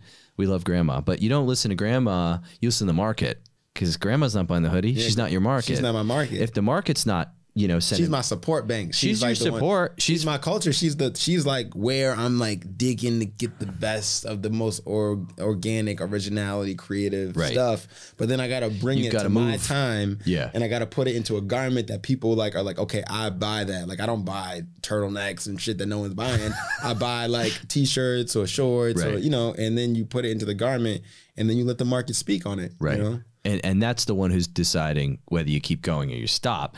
Not mom and dad. Yeah. Not, not Oh, grandma no, and yeah. grandpa. Like the market is going to tell you whether you go or you pull back and change. Absolutely. And like I said before, like, you know, the, the the culture of streetwear is different all across the world. So like, you know, maybe maybe you know it's funny, like maybe what you produce in this market um isn't the right market for you. Mm. Maybe your online section, like, why am I always sending shit to Tokyo and Japan? Because they fuck with it. Mm-hmm. So you just gotta figure out one, do I really focus my efforts in marketing there? Or two, do I go there and, I- drop down and go boots on the ground in Tokyo, wherever your market wherever is. your market is. And that's kind of how I felt like it was for me to come here. Like I was like, you know, the north side was dope. I was running around with the six side guys and I was like, you know what, but the market is here because all the celebrities, all the athletes, when they get their breaks, when they get off concerts or when they have concerts, rolling loud and all that other shit, Right. they come here. yeah. So I was like, I need to be here so I could just have a fucking plate of just drip for them to just pick from. Right. And that's how the business can like elevate. Right. With with like minimal sweat. Like you're sweating enough. Bro. Why not make it even hard? Like Bro, I kid you not. I remember the days I was in Boston. I was kicking vineyard vines. I was kicking fucking Yeah. like the basic Nauticas and polos and Yeah. hunter boots. I'm like, yo, all you girls and all you guys dress the fucking same. You're like Puritans. I can't even like, I can't even Yeah. get this off. that hits pretty close to home, man. I know, you I know, I know. So yeah, look, Puritans and motherfucking natives, we, we out here, but but it was just it was one of those things. I was just like, We all had those vineyard vine ties on the oh I mean, I had those seersucker shorts too. Them shits was hard. Yeah, but it just yeah. it was like it's a different uh, uh, geography uh, for people that are wearing you know the, a different type of style. Like, You Right. know, if you go to the Hamptons and you go to these places, Cape Cod, like there's a different energy that's there. yeah. But when you're like in these cities, like you go to New York, you go to Seoul, you like you're like yo, buddy, buddy had a whole fucking bomber on, like Right. shit gets different. So you got to cater to the audiences that one can obviously buy your stuff, two that's into fashion and will buy your stuff, and and the relationships at hand, man. You know, Yeah, I, I, what I really like is what it's like. You might be right. You just might be in the wrong freaking place. Yeah. Because like my whole thing is like how, just how do you keep like tilting and turning until things just go and everything falls into place? Because like I, talk to people like I talk to people on the phone. They, they they you know we have a meeting. Like I, I respond to my DMs. It's it's so much comes down to like dude, like, have you tried it like this or like this or like this, or have you moved or have have you asked more questions? Because you're gonna win eventually. How do you win faster? You you make as much of those tweaks in the right direction as possible, and things start to click. So it's like you know, it's as simple as looking at your purchase, your uh, your, your cr- crack open your Shopify, Yeah. see where the orders are going, and go, huh, that's pretty weird. I guess that's my target market. yeah. I mean, and look, I you know, greatest quote ever. Shout out to Jim Jones. He was like, "When you can't stay motivated, stay consistent." So you know, like I always look at myself as a true north for my friends and a lot of guys. You know, families, kids, jobs, switches, all this type of stuff. But like I'm that constant that's always calling like, yo, bro, what's going on? You good? Like even when they don't talk to each other, I'm that glue. So mm. I always stay kind of at my own true north and I stay focused on my thing because I know that that's the thing that keeps me moving forward. So even though there's different variables, you got to make those adjustments until and figure out what works until things click. Like you just if you keep staying on the same path, there's nothing wrong with switching the lane. You know, I've been Right. in the same direction on the same hi- highway and had to get in the express lane and get out of the express lane. And Right. I'm not getting off at the exit. I'm still staying in, in my course. Right. But you just gotta, you know, you gotta make, you know, changes throughout. Yeah, that's a good that's a good way to put it. I might steal that from you because like I, I talk about this course correction, but it's never like yeah you don't have to get off the You don't have to get fucking out, you don't- highway. You don't have to get off the highway. You just might have to switch lanes. It might be like, okay, there's a bus in this lane. Right. So you're still gonna get there, but you're just gonna if, if you choose to just take the slow route, you're gonna be behind the bus. Right. You might not even know that there's nothing in front of the bus. If you go around that bus, you might be able to hit the sl- slipstream. But Right. you know, you just gotta remember, like, yo, this is my course. This is where I'm good. Um, I may have to make some slight tweaks and adjustments while I'm there, but I gotta stay on course, and that's that's how you get to where you want to get to in life. And you know, for me, it's been you know a constant journey as it still is of you know being able to to compete and and and, and design with the best. You know, Yeah. There's um there's this this crazy story. You you obviously heard of the band the Kings of Leon, right? Yeah. So the Kings of Leon, they they couldn't break in the United States of America. Like they just couldn't. Like just nobody was listening to them. They couldn't break. I mean, they're probably one of the largest contemporary rock bands, obviously in, in the United States now. But it's like, and they just found that all of their all of their listens, all of their views were in the UK. So Got it. You what did they do? Did they stop? No, they picked up and they they they moved to the UK and then that's where their tour was. Their tour was like Manchester, fucking Leeds, like it was just like London O2. Like they just that's how they did and they did that for like a year or 2 years. And then the US was like, "Oh yeah, you guys are pretty sick. You can come back now." Yeah, but I mean that's typically how it is. It's just like you know, like you gotta you gotta go to where your cadence is. You gotta go to where you know people. You know, I always say like you know where they where they'll be your cheerleaders. Right. You gotta go to where the people are gonna hype you up, man. Like it doesn't make sense to waste energy in places that aren't gonna pour into you. Right. So you know when I was. You know, trying to flip all this cool stuff in Boston. And granted, you know, I, they fuck with me there too because Right. you know it's my city. But you know, and then when I went to Toronto, it was the same thing because I was from another country in their world. Um, you know what I mean? It's like you know, it, it, I, I was lucky enough to kind of have that, you know, kind of keep going in the different places that I've gone to, and even here. But you know, you just have to stay consistent, and and that consistency speaks true because it's like, well, he ain't changed, he ain't fall off, he's still coming through with that shit on. It's still stuff I've never seen. It's still things that I want, and that consistency gets you that business and that rapport with people.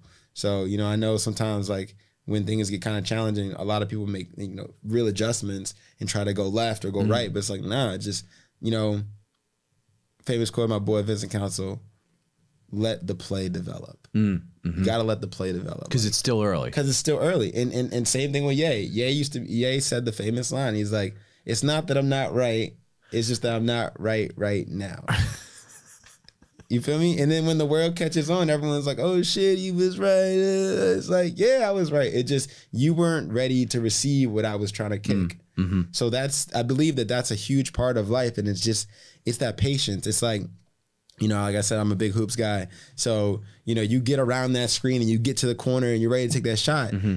But Buddy got to get pat, he got to cross him up and still get to a spot where he can get you the ball. Just because Right. you got there early doesn't mean it's not coming. Right. Be ready because when you when the ball comes, you got to take that shot. Right. So you got to just let the play develop and slowly everything opens up and the game comes to you, man. I love it. I You love it. Yeah. Wait, the, the, there was just there was there's something that I was developing this like I have the same idea. Wait, let's take a step back. we were talking about like you might you might be right, but you're not right right now. Right. Bro, it's, it's crazy. You know, when Ye when Ye dropped that bomb on us, I was like, damn. Yeah, that's a different type I was like, bomb. damn, he's good.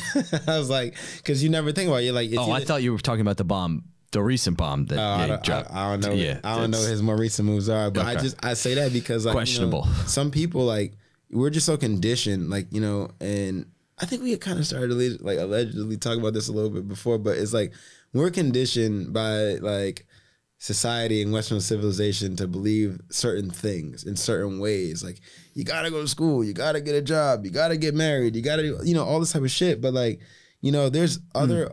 Uh, you know, like you know, unorthodox ways of doing things. You know, you don't. Everyone doesn't have to be a doctor and a lawyer. Like, there's so many ways you can make money. I.e., myself. There was no path for this. I blazed this path.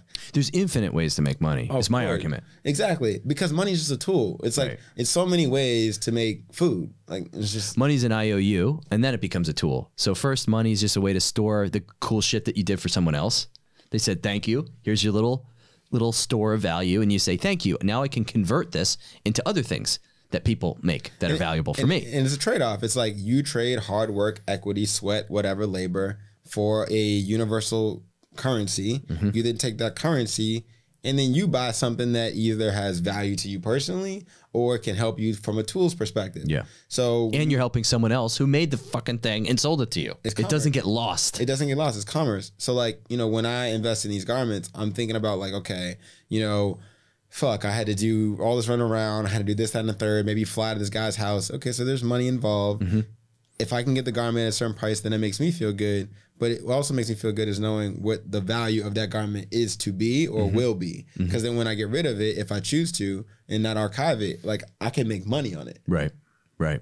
It doesn't disappear. It doesn't just disappear. I, I have this idea. I don't. I, I have this weird idea. I, don't, I haven't verbalized it before. Is but it's like, it's like if you're when you were saying consistent, be consistent. It's like if you're consistent long enough, you can like convince people of your reality. Like you, if you don't break your face, you like long enough, people just go, oh well, he's he's obviously that's the guy that does that thing. But but that's true though because if you're consistent in that, then you are doing that thing. Even if if I'm if you know I don't want to get into the to the glizzy game, but if you're a hot dog maker and you make hot dogs long enough, and they're like, yo, I don't even know Fred, you know, Buddy's name, but every time I see him, Right. he got the hot dog truck. He up and down the block. He's people eating hot dogs. Right.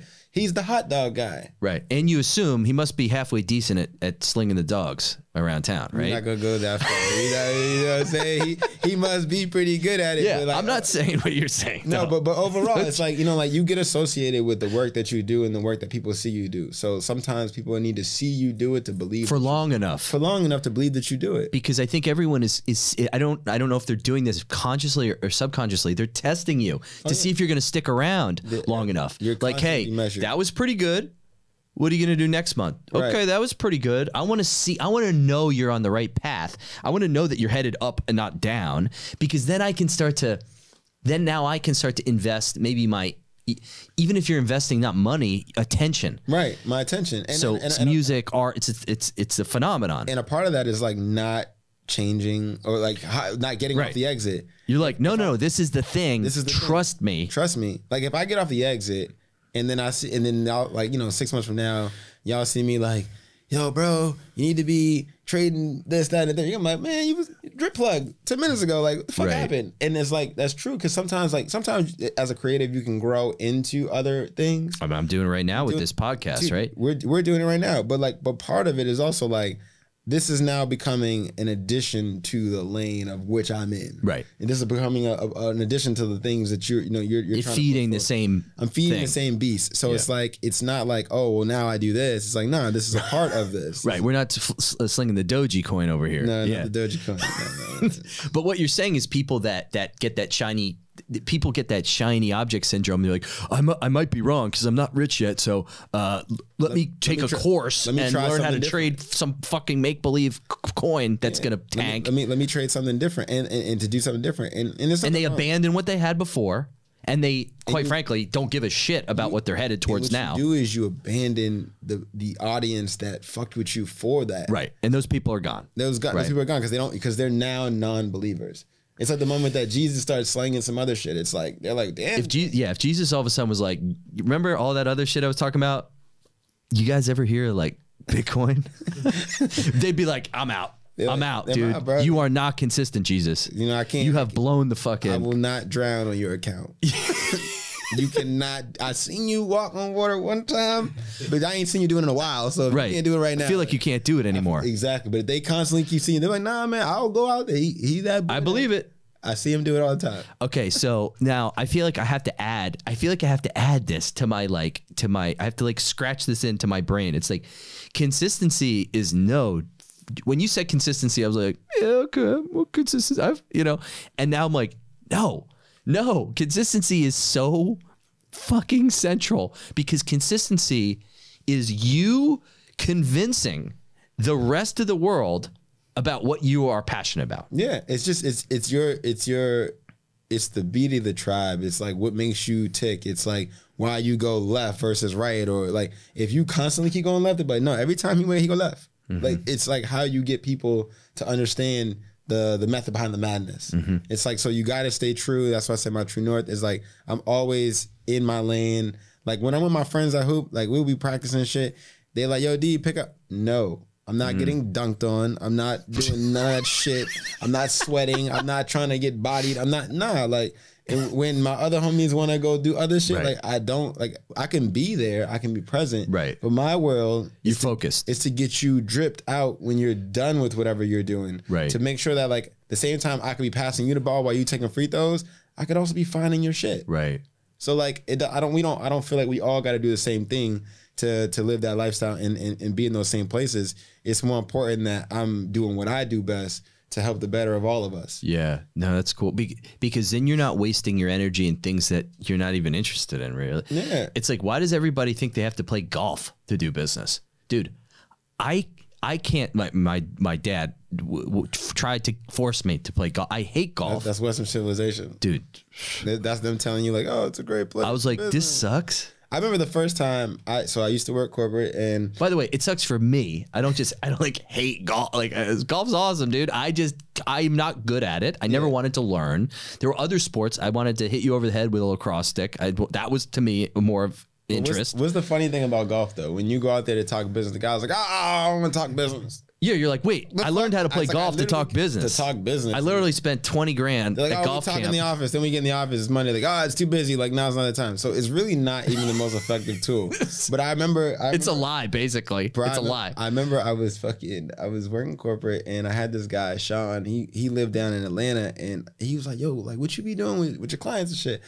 I was like, man, you know, we go golfing and shit like that. Cause I can golf. Like, Okay. I, I got my clubs. I'm, I'm good. So, so, I'm so like, wait, do we have to now? We have to fucking play golf together now? This is bullshit. no, we, no, we don't. But but this is what I'm saying. So my man, I was like, Sean, like, why would you be doing? He goes, man, we go to the gun range a lot. I was like, the fucking gun range. Okay. I was like, that'll kind of open up some shit. He goes, sometimes we go throw axe, like, but this is because he was in the south. He's like, he's Right. doing different things. He's like, he golfed too, you know. He's like, he's like, one time he went like on ATVs and shit. I was like, well, you're not really doing a lot of talking about business. He's like, he's like, no, I'm opening the the person up uh huh. and getting them ready to enjoy like the experience itself. Right. And then the You're building a relationship. And then the 20 minutes that it takes to you to have, you know, talk business is business. He's like, but trying to talk business through, you know, 18 holes and, you It's know, forced. bunch of money. It's kind of forced. And then if I'm terrible and you're good, you're just looking like, I don't want to do business with this guy. He Yeah. sucks. It's like, well, everyone fucking sucks. Like, Yeah. Okay. I've got like so I have the ultimate story here. It's like it. So I was working on Wall Street. I was I was working at I don't know. I I think this is the my my first seat. So I'm relatively new. I'm trying to build. I'm trying to basically build this technology. Um, that that these hedge funds would want. Okay. Okay. The biggest fucking hedge funds, right in in in, in New York. And so there's this infamous guy. I have to be careful. I can't name names. There's this infamous trader that's a client of the banks, but he won't trade with our desk. He won't spend any money with us. Basically, uh, he was just put into a category of he's never going to spend money. Yeah, he has a line into us. don't chase the dog. Don't chase this. And I'm like, I kind of want to chase this. Yes. I like this. I like this. Right. I like this a lot. Dog with no tail. Yeah, I was like, it. ah, man, this. I feel like I'm gonna make. I'm, I feel like this is gonna be like the guy that trades billions of dollars with me, right? So, I go. you were gonna I, be, you were gonna be his Bud Fox. I was gonna be the Bud Fox, and like this it. everyone's like, dude, they're like laughing at me as I was like setting up this meeting. So I, I say, hey man, what, what do you what do you like to do? And he was like, uh, I like to. Uh, no, no, no, I don't like to do. You know, it's nothing. I said, do you like to eat? He said, oh yeah, yeah, I like to eat. I said, what do you like to eat? He's like, I like, I like, I really like sushi. I go, dude, sushi is my favorite food. I could eat sushi all day long. I was like, in fact, I'm gonna out eat you in sushi. So let's go get sushi. He's like, done. I go, where what's your favorite place? It's in fucking Greenwich, Connecticut. I get on the train, I go to Connecticut. This guy picks me up in a stick four door five series from like the 80s. I, I was like, like, what is happening? Right? Get to the get sushi, sushi. spot. Wanna Get to the sushi spot. He goes, what do you want to drink? I said, what do you want to drink? He goes, I don't drink. I go, well, neither do I. Uh, the iced tea comes, sipping the iced tea. Because it's not about me. It's not about It's you. not about me. It's not about you at all. What, uh, fuck what I I'm want to trying drink. I'm trying to learn about you. Right. So I get the whole inside story, which I wish I could share with you guys about this huge blow up. One of the most legendary. I'm getting it directly from the trader. Okay. We're eating a sushi boat the size of fucking half this room long. We finish it. This guy can eat more than anybody I've ever. it- Basically, him and I were a good match for taking down the sushi boat, right? And at the end of the fucking thing, I go, hey, the team thinks that you've been such a small account. Is there a problem with our technology, with your coverage? I'm going to be your new coverage. He goes, um, you can accept more s- trades from me, the bigger size. I said, yeah. He goes, oh, well, times everything by 100. And then I just You, slowly said, know was? You- "Yes, I will." So you- and then he proceeded to tr- he proceeded to be one of the biggest clients at the fucking bank. bro, you crushed it. You snapped. What you did was you you you played uh you played into slightly like his ego while also asking the right probing questions. You opened up the door far enough where you could ask the question that you needed to ask and then play into his ego. So there's this thing that like Not in a manipulative way, by the way, because no, no, back no. then I was a kid and I was dumb. At, I, I'm not. I'm still not smart enough to manipulate you were people. you were you were a true bud fox. You were just but Yeah. you know what it was like it's not I remember had a mentor he told me like he's like, bro, you gotta sell fear. And I was like, what the what the fuck does that I was mean? like, bro, I'm selling furniture, I'm selling, you know, real estate. He's like, it's not what you think. It's the fear of missing Okay. out. Right. FOMO. right. So it's like, if you don't get this fucking deal right now, fucking, you know, price not gonna be today. You know, it's, it's eight dollars square foot. Tomorrow might be two hundred. I don't fucking know. I don't know. I don't know. I don't know. I'm busy. My phone's ringing. I got another guy who's asking about the same shit you're asking about. Right. And what you do is you you create this sense of urgency Right. and you create this this fear and people make decisions and what you did was you played into the ego a little bit of him knowing he could do anything he wants but he does nothing Right. and the moment that you're like you know the uh, you know the, the, the team feels like you're a smaller account but what you're doing is you're telling him i think there could be more there Right. he's like yeah there's definitely some more i'm glad that you're seeing that Right. but then you're like is there something wrong with us Right. and you're, he's like no no no i mean Right. You're you pretty take- fun. We just killed the sushi yeah, boat yeah, together. like yeah, like can can you take like can, what, Can you accept what's your capacity? Right. And then he gives you the number, Right. And boom. But Yeah. that's what that's that's like so. That's like an elite level of connecting with people. Everyone doesn't know how to do that. That's like Right. it's a thing, and I've learned how to do that over the years of business and and, and being around people. But those are like what you go the distance for. That Right. you went the distance. You ate a fucking thousand sushi rolls.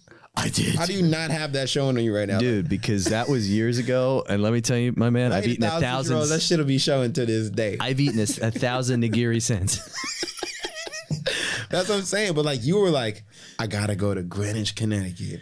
I gotta get into I a got- stick five I, gotta series. get. I got. I mean, I don't know. That's that's that's a that's a move right there. Dude, there. that car was it was the sickest fucking car you could have possibly. If he picked me up in a Gull Wing, I would have been like, whatever. If he picked me up in a fucking Aventador, I'd be like, whatever. And that stick Yeah. was like, it was like, dude. it was him showing you like, I, I got this. Yeah, I got this. I got and he's like, I literally have lost more money than the richest people in the world have made. Now I got a question for you. Who paid for the bill? Me. You paid for the bill. You really went the distance. How much was the fucking Me. bill Well, the, you know, we it was a bank. It was you know the bank paid the bill. He and he tried to pay the bill. Okay. Be- you, you know what you gotta do in those cases to further play. You gotta let him pay. uh, Because then he. I don't- you know, it's funny. I don't he remember. feels like he did it. dude to be honest to be honest with you i don't remember i don't remember if we like he made me split it or something insane like that like Yeah. something might have happened I, I don't remember exactly It was like you ate a couple and I ate a couple and you know split it. yeah i think i don't know but it was funny because i was like that was the cheapest meeting i've ever had we ate everything on the menu but there wasn't a single drop of alcohol so the bill The bill's always was cheaper. completely reasonable Nice. No, I had the I had clients where we, uh, I guess it's been years, so I could I could say that like, you know, you have clients where you you can very easily spend a few thousand dollars on just fucking wine, Yeah. you know, and then not to mention. You're basically writing yourself a death certificate for the next day when you're drinking natural wines, Oh, like yeah. it's going out of style, and you're just along for the ride. Yeah, you just gotta assess like, you know, like, is the juice worth the squeeze? In this case, definitely not. You know, like- go to Greenwich, eat the sushi boat, get in the Stick Five series, and fucking trade a billion dollars Yo, of bonds. and, and and develop those relationships that can open doors beyond your world, your wildest dreams, man. Like you know, I think that's that's one of the things I just learned in my life is like, yo, bro, like you never know where your opportunity is gonna come from. You just don't know. You might have like an inkling or an idea, or you might be going, okay, this is great, or this person is great, But that doesn't mean that person's gonna be in your life forever. You Right. naturally just think, oh, this person's great, so they're gonna be with me. No, they might be with you for a season, not for every for not for long. Mm-hmm. You might be in this position or this seat for a season, but not for long. So there's gotta be this level of like being able to accept things as they come in and also accept when those things leave. A lot of people aren't really good at cycling that. Mm-hmm. So things get challenging. But you know, when you kind of figure some of those things out individually, you start to learn like how you can keep turning gears and keep the shit going. Yeah. You know, you can't get caught up on spilled milk, man. You can't, you know. You've built this. You've built this thing. What What happens now? Do you feel the need to make it bigger? Do you feel the need? Like what? What? What happens? Yeah, What I mean, so so so now what happens a lot is I'm meeting a lot of cool people that are you know not celebrities and not athletes. They're just like, yo, bro, you're fucking fly. I want to like I'm kind of a stylist. I'm kind of like learning how to do this, Mm-hmm. and I think it's super cool because it's kind of like to my purpose in life is to kind of like help educate people on you know alternative ways to to to to to really you know dive into your passions. So I'm a believer that like look as great as corporate is and it's taught me so much, it's not for everyone. Same with college, not for everyone. Like Mm-hmm. Wasn't for me. It wasn't. I mean, it worked out in its way for me, but like you know, it just it wasn't something that like I really wanted to do. But Mm-hmm. what it did teach me was how important it was to network. You have there's like no other time in your life that you have thousands of people that are your age, same age, Right. interest, Surrounded by. surrounded by them. I mean, look, note to all young viewers: if you want to make a business and you want to be successful, do it while you're in college, Mm-hmm. because and, and make your price points make sense for you know your demographic. But you'll never get that again. Yeah. Because the one thing you guys all have is the camaraderie of you being in the same In the same thing.